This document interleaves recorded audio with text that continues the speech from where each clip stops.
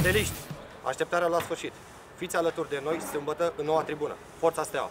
Steaua se întoarce pe terenul 5, unde a fost renovat gazonul și a fost construită o nouă tribună roș-albastră cu o capacitate de aproximativ 1200 de locuri. Capitanul echipei, Horia Iancu, face apel ca fanii să vină în număr cât mai mare la primul meci oficial de acasă al anului. În sfârșit ne întoarcem aici și e, e altă senzație când joci acasă în Ghencea. După cum se vede, tribuna este gata și așteptăm uh, lumea la meci.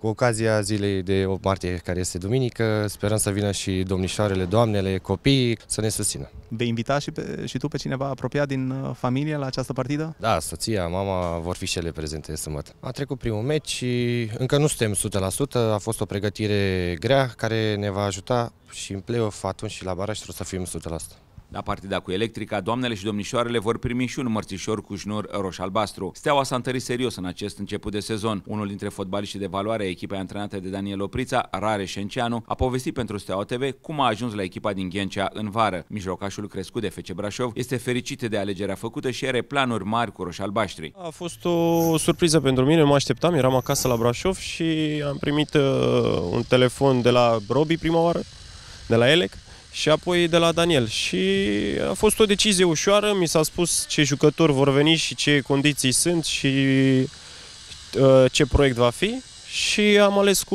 am ales cu sufletul deschis. Suntem nerăbdători să, să debutăm uh, în acest retur cu foarte mulți suporteri, pentru că jucăm acasă, avem o tribună nouă, după cum vedeți, și așteptăm uh, foarte multă lume la stadion. Meciul cu ACS Electrica va avea loc sâmbătă de la ora 15 și va putea fi urmărit în direct pe canalul de YouTube Steaua TV.